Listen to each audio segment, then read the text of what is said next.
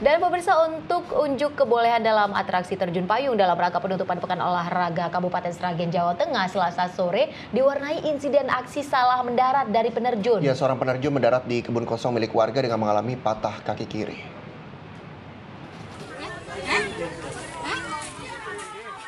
Seorang penerjun, Tono dari tim penerjun Fasi Yogyakarta berputar di udara setelah dihempas angin hingga akhirnya mendarat di kebun kosong milik warga. Tono mengalami patah kaki kiri dan dilarikan ke UGD rumah sakit terdekat oleh tim kesehatan Kabupaten Sragen.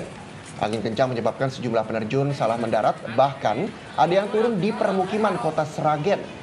Hanya dua penerjun berhasil turun di tempat sasaran yakni lapangan Taruna.